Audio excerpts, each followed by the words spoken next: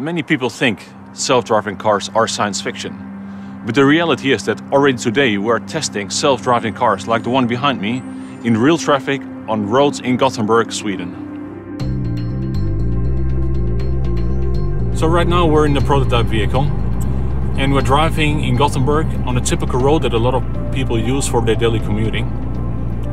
And I can show how to activate the system. One simple press on a button and the car will take over the braking the accelerating, but also the steering. In this case, I still will have to supervise the system because this is an early prototype. But our intention is that in the final product, a driver can actually release the steering wheel without having to supervise, such that he or she can do something else with their time. The car uses radar, camera and LiDAR technology to monitor the actual environment around the car. The sensing has to be so robust that drivers can rely on the car to drive in a safe way. It also uses a map of the roads that we're traveling on. So we use a communication link between the Volvo Cloud and this vehicle in order to get the latest map data to this vehicle. We do analysis on traffic safety and we've done so for many years.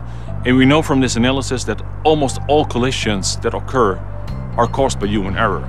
If you would automate driving, you take away the causes of many accidents and you can make traffic safer.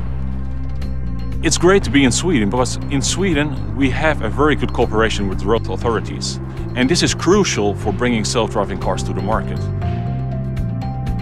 At Volvo Cars we have the objective in 2017 to actually bring 100 self-driving cars to our customers on real roads here in Gothenburg.